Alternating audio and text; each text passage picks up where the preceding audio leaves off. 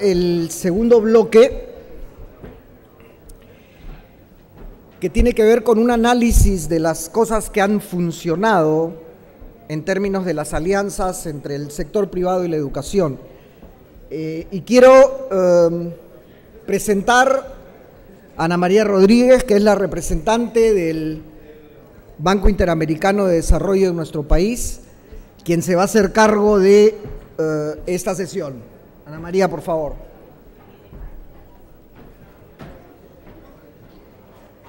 Muy buenos eh, días. Vemos con mucha ilusión que ya están entrando todos, inclusive invitamos a uno de nuestros comentaristas, Efraín Wong, que nos está haciendo mucha falta acá, para que nos acompañe.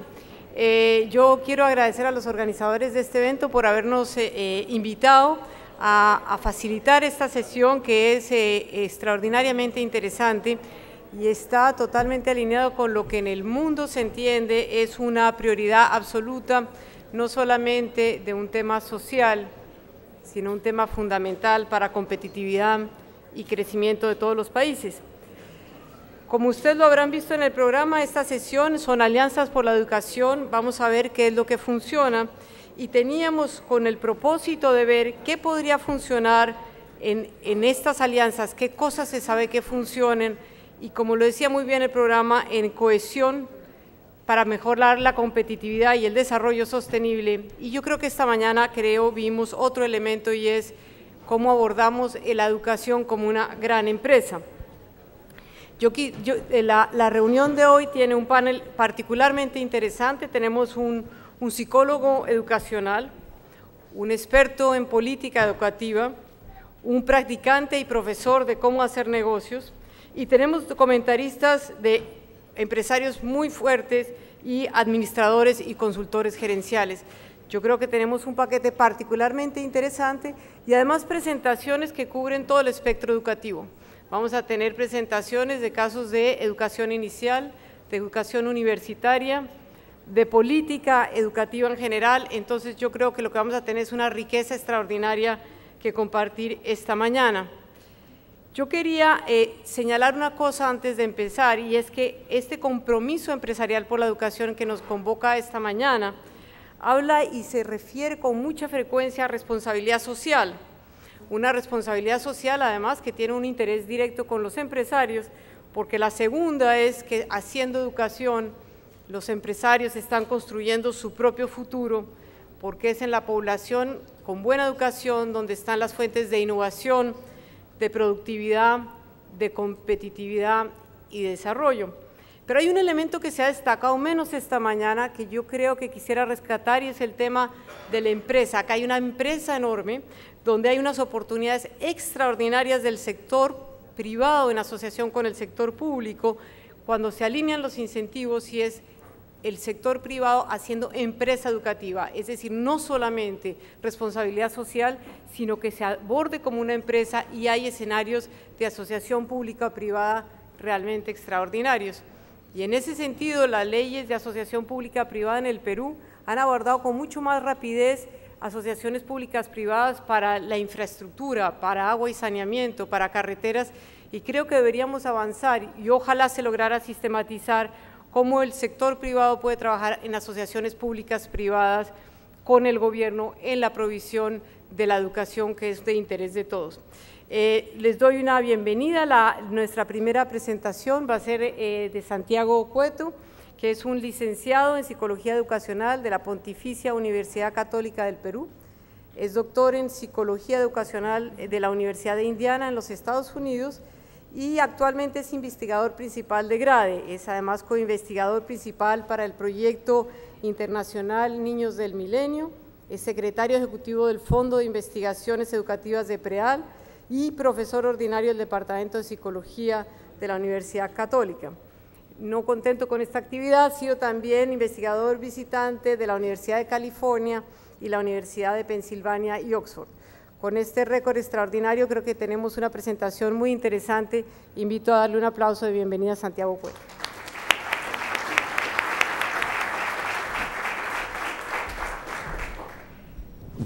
Muchas gracias por la, por la invitación. Eh, estoy muy contento de estar aquí estaba conversando con mi madre en la mañana y me contaba cómo ella y mi, padre iban a los primeros eventos de CADE en Paracas, me dicen, en los años 60. Ah, entonces es un gusto estar aquí y me voy a parar aquí para que ustedes puedan ejercitar su cuello mirando la presentación y, volteando un poco. El, estudio que voy a presentar es uno eh, que nos encomendó el BIT para empezar a pensar el tema de las alianzas público-privadas en el Perú. Pero el, el, tema, debo advertir, estaba vinculado específicamente a la primera infancia. Y eh, yo he tratado de adaptar algunas de las, de las ideas al tema de la educación en general y, voy a hacer las advertencias donde esto no, tal vez no sea posible en alguno de los casos. ¿no? Y es un trabajo que hice con dos colegas en grado y consistió básicamente en revisión de la literatura, de experiencias nacionales, internacionales y luego entrevistas a una serie de actores del sector público, privado y eh, público-privado. Lo primero que quisimos ver es de qué estamos hablando, ¿no? ¿Qué cosa es una alianza público-privada? Y eh, encontramos muchas definiciones como eh, la que ustedes están viendo, un gobierno, una alianza público-privada, un gobierno contrata proveedores privados para brindar un servicio específico de una cantidad y calidad definida a un precio acordado y por un periodo específico de tiempo estos contratos incluyen beneficios y sanciones por un mal desempeño e incluyen situaciones en las que el sector privado comparte el riesgo financiero en la provisión del servicio público. Eso da un, no, sé cómo se quedan ustedes con la definición, da un marco general, digamos, del tipo de cosas que estamos hablando, pero no les dice exactamente, y no es la intención, por supuesto, de la definición, qué tipo de servicios, por cuánto tiempo, cómo es el asunto del eh, financiamiento, etcétera, etcétera. ¿no? Y justamente esa es una de las ideas principales que quisiera transmitir. Cuando hablamos de alianzas público-privadas hay múltiples posibilidades de cómo esto se puede eh, volver eh, un proyecto o una actividad específica. ¿no? Em, este es un texto tomado como la definición anterior de eh, Patrinos y un equipo de colaboradores del Banco Mundial. Ellos dicen, una forma de entenderlo es uno puede pensar quién va a proveer los servicios educativos y por otro lado quién los va a financiar. Y entonces si ustedes tienen eh, eh, la provisión privada y la provisión privado-pública, y el financiamiento privado-público. Entonces, si tienen lo privado-privado, digamos, tienen el esquema típico de escuelas privadas, universidades, educación en casa, que es algo más este, norteamericano tal vez, el homeschooling, digamos, eh, o, la educación con tutores, que es algo que ha cobrado mucha fuerza, por ejemplo, en, Asia. Eh, lo público-público están, por supuesto, escuelas y universidades públicas. Hay financiamientos privados con eh, provisión de servicios públicos, pero eh, digamos, préstamos para estudiantes o eh, facilitación de eh, dineros para pagar cuotas vinculadas a servicios educativos. Pero, digamos, el tema de alianzas público-privadas estaría en el último cuadrante en el que ha sido resaltado, que es, este, por ejemplo, escuelas de contrato, escuelas charter, vouchers, y en realidad hay múltiples posibilidades más. Robert, ahora les voy a leer algunas de las, de las posibilidades. ¿Por qué es que se hacen alianzas eh, público-privadas? yo no lo he visto así directamente escrito, pero yo creo que en gran parte el, diagnóstico de muchos es que el Estado no ha logrado eh, proveer todo lo que se esperaba. Y entonces hay que pensar formas imaginativas, digamos, de eh, proporcionar eh, servicios educativos de calidad para todos y las alianzas público-privadas aparecen ahí como una posibilidad. Entonces, de acuerdo a la literatura, las experiencias, lo que uno encuentra posibles beneficios es que las APP pueden ser un complemento de las habilidades normativas del Estado con la, eh, con la capacidad de, gestión del sector privado que trae, en fin, formas ah, de hacer todo este trabajo más eficiente. Por supuesto, la meta, digamos, si quieren ponerla en términos generales, es que el sector privado, vía una alianza público-privada, pueda proporcionar servicios de mejor calidad, de igual o mejor calidad, a un menor costo, ¿no es cierto? Haciendo de esa manera más eficiente la gestión y, llevando a quebrar eh, brechas de inequidad, que voy a insistir varias veces, que me parece que es uno de los temas fundamentales de la educación peruana. Permite al Estado concentrarse en el planeamiento de políticas y ampliación de cobertura, se cambia un enfoque de metas por un enfoque de resultados, creo que eso lo han mencionado algunos de los panelistas anteriores, eh, aumenta la oferta de servicios y la posibilidad de elegir y esto debería llevar a una competencia entre los que proveen servicios. Una de las críticas que se le hace en, muchos contextos es que el sector público no tiene que competir para ah, proporcionar el servicio y la competencia incentiva, dice la teoría, eh, y generación de un ambiente de estabilidad y predictabilidad. Ahora, hay riesgos que se perciben una es la dificultad para definir intereses comunes y la poca flexibilidad para llegar a acuerdos, se tienen que entender, digamos, entre las dos partes. Lentitud en los procesos de toma de decisiones. Eh, el tercero tal vez es clave para el Perú porque yo me imagino planteando una idea como esta en términos generales y aparecería inmediatamente de nuevo esta idea de que la alianza público-privada es el primer paso para privatizar, que lo mencionó el ministro. Y, en realidad las alianzas público-privadas no son una forma de privatización, digamos, por, eh, por diseño, pero aunque ese no fuera el caso, creo que hemos visto, y esto es parte, digamos, del contexto nacional que habría que discutir, eh, estos fantasmas de, por ejemplo, privatización, aun cuando no fueran reales, igual asustan, digamos, este, por decirlo de, alguna manera, y hay que tenerlos presentes, ¿no?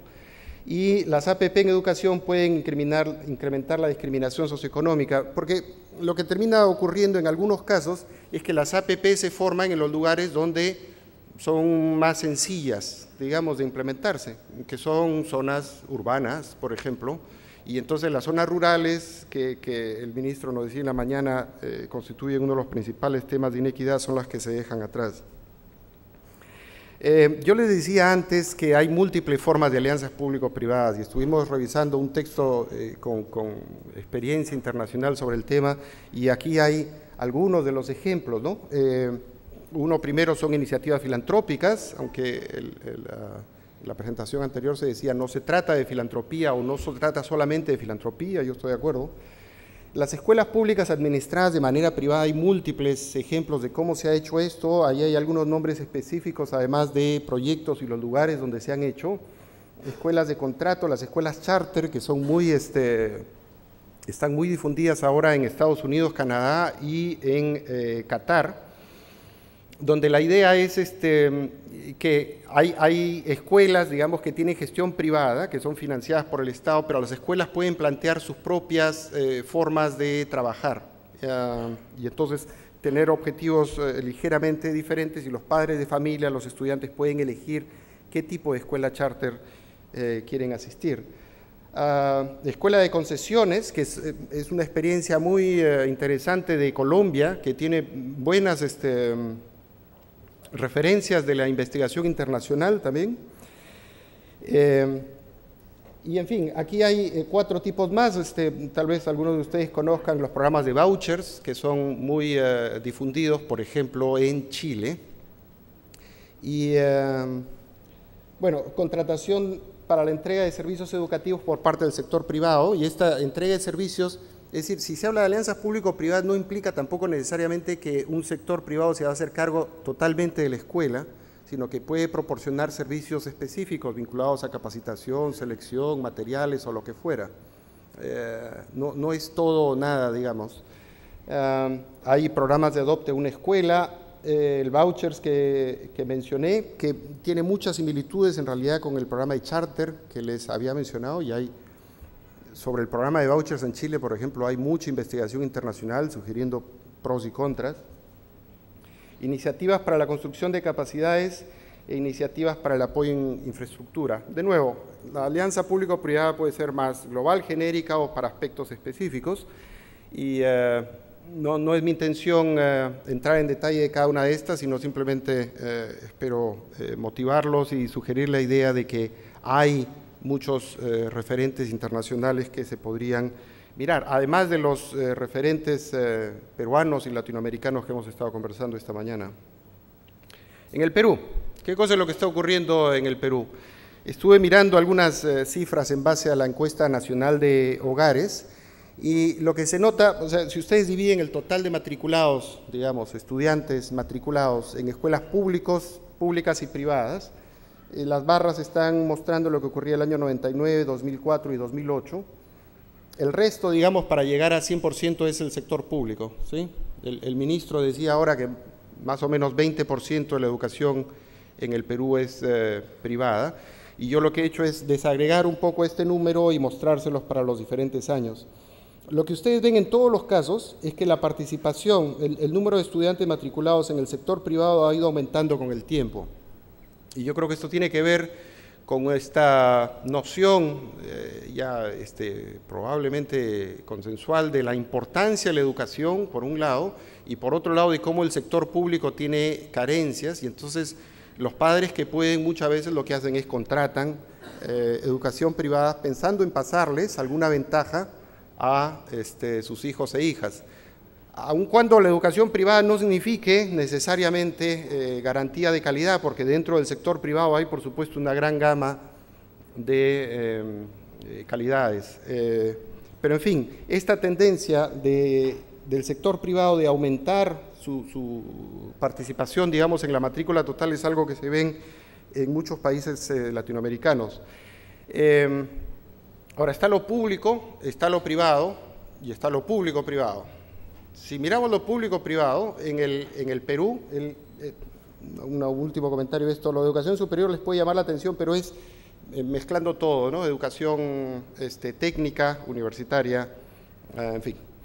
Em, está, decía, lo público, lo privado y lo público-privado, que en realidad todavía es algo relativamente menor en el Perú y empezamos a conversar con algunas eh, personas y lo que uno encuentra a menudo en la literatura como ejemplo de alianzas público-privadas exitosas es el caso de, Fe y Alegría, que como ustedes saben tiene un convenio con el Estado por el cual el Estado em, destaca, digamos, maestros. Fe y Alegría puede seleccionar cuáles son los maestros que van a trabajar con ellos, el sueldo se los paga el Estado, pero muchos de los otros este, aspectos vinculados a la marcha em, educativa, a la gestión en general, son decididos por el programa Fe y Alegría.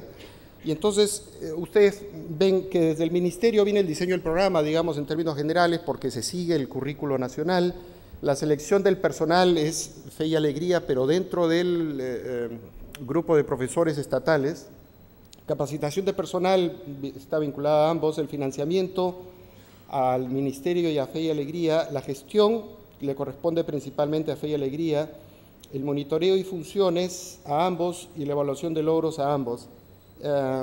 En realidad este es un ejercicio, eh, está el padre Herrero y otras personas de Fe y Alegría, tal vez no estén de acuerdo con todos los checks que yo haya puesto, pero fue un ejercicio que hicimos para tratar de clasificar. Ahora, a mí lo que me parece más interesante cuando analizan el caso de Fe y Alegría y otros, es que no es solamente alianzas públicas y privadas, sino que está la tercera columna, que es la de la comunidad que es algo que Fe y Alegría entendió hace mucho tiempo y yo creo que es parte del éxito. Entonces yo lo que quisiera sugerir como parte del, debate este, de hoy es que pensemos no solamente en alianzas público y privadas, digamos, donde se reúne el Estado y, los que proporcionan servicios privados, y, un poco el mensaje es a la comunidad, a los que van a recibir este, el servicio, les contamos después cuando nosotros nos hayamos puesto de acuerdo, sino que se trata de involucrar a las comunidades desde el principio en en una reunión de a tres, digamos, ¿no? Eh, y en fin, hemos marcado ahí algunas formas en que eh, se podían, eh, en que las comunidades de hecho participan y, los primeros colegios de fe y alegría, los que funcionan regularmente, en realidad no se abren a menos que la comunidad localmente decida que es importante contar con un colegio fe y alegría. Esta es una cita de una persona que entrevistamos de Fe y Alegría para mostrar simplemente la importancia que tiene eh, el, prestigio, digamos, el nombre, la, trayectoria que logran hacer estos eh, proyectos. Nos decía esta persona, ¿por qué es que la gente busca aliarse con Fe y Alegría? Y me lo dicen, no quiero aliarme con el Estado. Cuando hubo el terremoto de Ica me pasó, tuvimos un aluvión de ayuda, que ya yo sabía que los colegios estaban todos destruidos, de los colegios del Estado yo ya tenía arreglado el colegio y habíamos hecho dos colegios más. Yo no necesitaba más financiamiento, ni podía manejar más financiamiento de las empresas. Y le dije a las empresas, bueno, ayúdenlos ustedes directamente a tal escuela o a esta otra, que son públicas. Y ellos respondieron, bueno, con tal de que sea a través de ustedes. e hicimos trabajo, reconstruimos colegios públicos totalmente estatales a través de Fe y Alegría. De nuevo, me parece una cita que es interesante por la importancia de Fe y Alegría para construir, digamos, una imagen de, eh, confiabilidad este, eh, que permite que reciba aportes porque se le ve como un agente serio y comprometido. Eh, hicimos múltiples entrevistas, les decía yo, sobre gente además en Lima y, en, provincias, de sectores privados públicos y públicos privados, y les preguntábamos cuáles son las fortalezas, las debilidades, cuáles son, piensan ustedes que son las perspectivas para esto. Y yo pensé, la verdad anticipaba, y por eso está bien hacer entrevistas y investigar un poco, que mucha gente iba a venir con el, fantasma de la privatización de nuevo y de, de, cómo esto podría ser nefasto para la educación pública gratuita, que no lo es tanto como sabemos. Pero en realidad lo que recibimos fue muchos eh, comentarios positivos, eh, en la línea un poco de lo que estábamos eh, mencionando antes, del sector público como el que tendría a su cargo, para que esto pudiera ser posible, la necesidad de definir y difundir políticas educativas definiendo objetivos y líneas de acción clara, algunos de los cuales existen, pero que habría que coordinar mejor. ¿no? Supervisar el cumplimiento de las políticas, monitorear y evaluar los resultados de las APP en educación, promover y facilitar las APP y formular un marco legal. que como se ha dicho, lo dijo Ana María, se dijo en la presentación anterior, existe un marco de alianzas público-privadas, pero básicamente para temas de infraestructura, y no tanto para promover temas de alianzas público-privadas en el sector social, no digamos educación solamente. El, sector privado lo que eh, tendría que hacer es proveer asistencia técnica, financiar las iniciativas, brindar recursos, materiales, infraestructura, eh, gestionar e implementar programas y vigilar el cumplimiento de objetivos del programa junto con el Estado. Eh, de nuevo, como les decía antes, y este, advirtiendo nuevamente que esto se hizo pensando básicamente en, primera infancia, pero eh, pienso que puede tener relevancia para el sector de educación en general.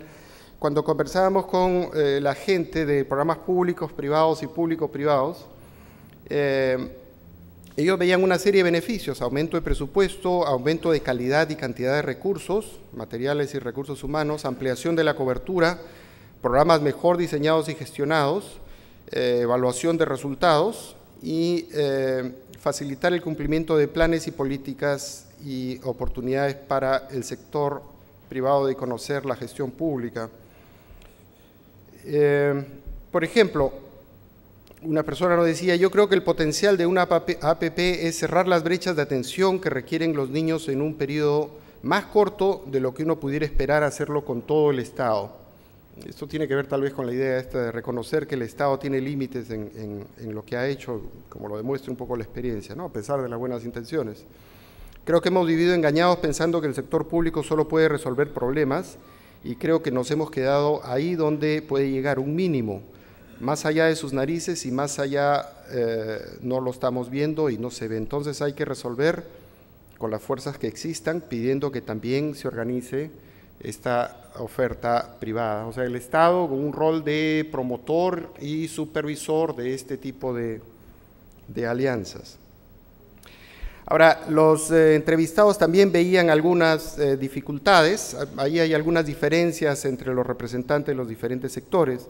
Eh, y de nuevo, pensando en primera infancia, decían falta de planes a largo plazo con objetivos y estrategias claras que orienten la formación de las alianzas público-privadas. En el Perú existe, por supuesto, el proyecto educativo nacional, pero seguramente para eh, cuestiones más específicas habría que acordar eh, de nuevo objetivos más eh, concretos. ¿no? Alta rotación de los funcionarios públicos, uno se pone de acuerdo con alguien y a la semana siguiente no está, es un problema. Falta de articulación entre sectores, aquí se está hablando de no solamente educación, sino también este, MIMDES, salud, eh, entre los principales y por supuesto todo con la bendición del Ministerio de Economía. Eh, falta articulación entre intervenciones y o instituciones, se hablaba mucho de duplicidad de esfuerzos y de, eh, entonces, digamos, desperdicio, ¿no? ineficiencia. Corrupción en la administración pública, y burocratización de la administración. Una cita sobre los riesgos. Una persona nos decía, hay ciertos reparos desde el mismo sector público, fundamentalmente para el tema de servicios sociales. El tema de construir una carretera como que es más fácil, porque ponen reglas, pero para los servicios sociales estamos todavía con otro mito que nos han inculcado casi de formación. ¿Cuáles son los roles del Estado? Atender los servicios sociales porque ahí no entra el sector privado porque no hay rentabilidad. ¿Por qué no pueden tener una ganancia? Una empresa privada que brinda un servicio X que tenga su ganancia, pero dentro de las regulaciones, en vez de perder un montón de plata desde el Estado, digamos, para seguir haciendo algo que no tiene el mínimo de resultados. Creo que necesitamos caminar mucho más y conocer mucho más sobre este tema. Y con esto quiero introducir un tema más que me parece que es importante para el contexto. Las, las alianzas público-privadas a nivel internacional a menudo las hacen instituciones que tienen fines de lucro, digamos, quieren ganar, quieren dar un mejor servicio, eh, hacerlo a un costo menor incluso que lo que cuesta el Estado, pero también tener un margen para la empresa. Todas las alianzas público-privadas que podemos pensar en el Perú, son sin fines de lucro. Me, parece que ese es un diagnóstico razonable. Se hacen por filantropía, por responsabilidad social, pero no son empresas que están buscando ganar algo. Ese es un tema que debería seguir así o no.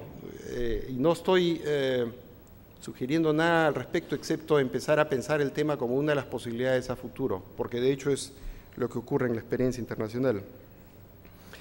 Bueno, eh, recomendaciones para terminar yo creo que el tipo de debate que empezamos con estas personas que eh, entrevistamos podría continuar eh, sobre potencialidades y riesgos de las APP en el Perú, porque como les decía antes, el tema principal es que APP es un gran paraguas bajo el cual caben muchísimas, muchísimas, muchísimas posibilidades en algunas de las dimensiones que les he mencionado. Poner de manifiesto los documentos de política educativa actuales que podrían servir como gran marco de referencia. El ministro mencionó dos, el, plan del ministerio y el proyecto educativo nacional. Posicionar el tema de inversión en educación con énfasis en inequidad en el debate público. Yo diría que si se va a hacer este, unas eh, alianzas público-privadas solo para mejorar el promedio en general, lo que va a ocurrir es que las brechas entre lo público y privado van a agrandarse, porque eso es lo que ha ido ocurriendo cuando la educación ha ido masificándose. Muchos de los entrevistados este, pedían también la recomendación de generar paquetes tecnológicos, que me suena muy parecido a lo que decía el doctor Morales antes, de, por ejemplo, los materiales del Instituto de Apoyo y, el tipo de, de, actividades que se le puede decir a una institución interesada en este tema. Esto hemos encontrado que funciona razonablemente bien y si ustedes quieren invertir podrían usar este, entre comillas, paquete tecnológico para ah, trabajarlo con algunas escuelas. Dicho sea de paso, la investigación sobre alianza público y privada es bien complicada. Este, yo no estoy aquí para decirles que la, investigación internacional demuestra que son la panacea ni muchísimo menos, en gran parte, porque como sugerí antes, hay múltiples formas de hacerlo. Y entonces eh, hay, hay ejemplos exitosos y no tan exitosos de alianzas público-privadas. Promover una mejor articulación de las intervenciones educativas para evitar duplicidad de esfuerzos en el sector público y en el privado. Y las dos últimas, analizar el marco legal existente de las APPs y adaptarlo. Como le decía, hay un marco legal, pero básicamente para infraestructura, eh, para que se contemplen estos temas. Y nosotros pensamos que para este tipo de debate podría formarse un grupo de trabajo que integra diferentes claves, de actores clave. De acuerdo a lo que hemos conversado, podrían ser funcionarios del Ejecutivo, eh, de, los diferentes ministerios que mencioné, representante del Congreso por el tema eh, de regulación, del marco legal, representante del sector privado, por cierto, este, empresarios por la educación es un, buen ejemplo, pero no solo empresarios por la educación, el, caso de Fe y Alegría, el caso de escuelas exitosas de, de IPAE, que me parecen todos este, notables, representantes de ONGs, funcionarios de gobiernos regionales y municipales, porque yo le digo, a mí me parece que esto de alianzas públicas y privadas le falta el componente local comunal, ¿no? no está en el título y a menudo no está en las descripciones. Y eh, representante de organismos multilaterales con experiencia internacional en el campo de las APP, el, BID por supuesto está ah, desarrollando esfuerzos en estos, pero también están los textos del Banco Mundial que les he mencionado. Entonces, como en muchos casos, cuando uno ve la literatura, lo que